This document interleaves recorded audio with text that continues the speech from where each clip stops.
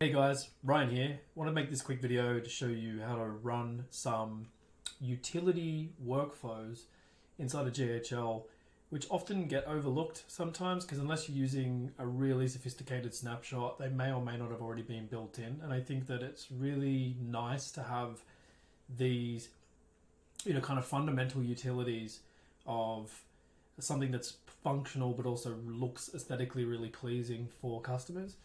And so, you know, what do I mean by that? It's like, you know, if you assign a task to somebody, if you uh, have a notification about something, you know, you want this nice branded email to come to you to have the notification with the details about that notification and some sort of call to action to enable them to be kind of mobile, receive a notification, read the details, and take some sort of action, right? Now, with restaurants and beauty salons and things like that, it might be did this person check in?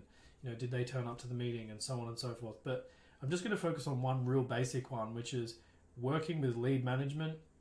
If I'm returning calls and putting people through a funnel, then you know I'm going to be assigning myself tasks. You know, I'm going to call this person back in a week. You know, this type of stuff, right? So to make it proactive rather than reactive, we want to get notifications running, right? So what I'm going to do is I'm just going to log into our um, GHL instance here.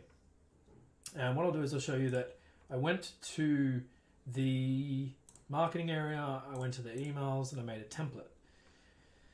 Now, um, I don't know why this does this, by the way. Um, let's just do a refresh.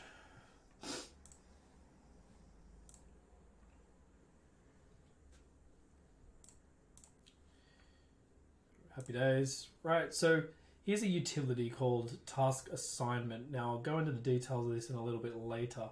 But essentially, if I'm wanting any contact here, and I've got, you know, John Smith over here, and I assign a task. Now, this is currently assigned to our co-founder, Ian.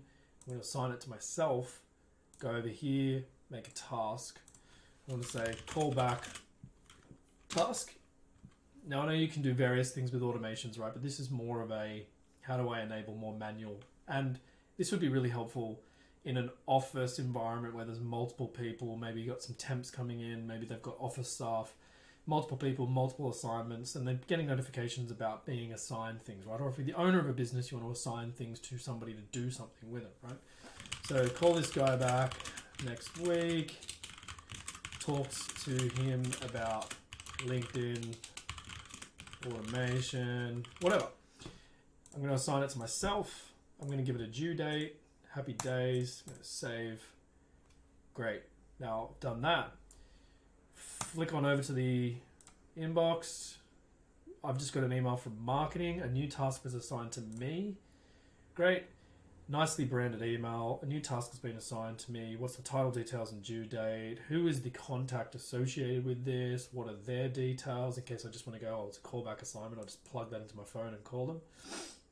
And any other relevant details you might want about the contact.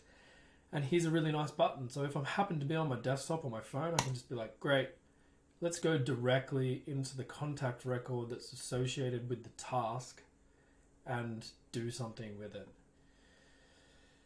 Cool, there it is. Now, to do that button, um, pretty straightforward. Um, again, sometimes a little bit overlooked. So with the URL structure of high level, they use Firebase, so it's an object-based database, it's a real-time database, and gives them indication on how they use IDs throughout the system in different, I suppose, different sections or modules of the system.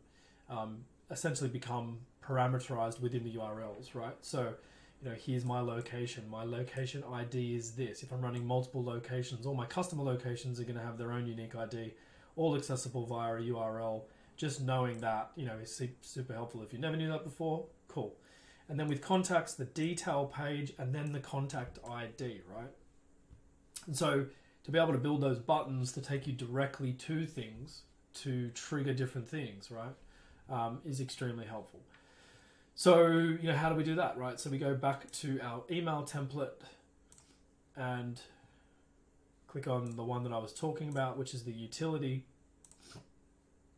And so you're probably familiar with custom variables, right? And then the ability to pull out a different uh, set of custom variables to do a bunch of different things is very useful.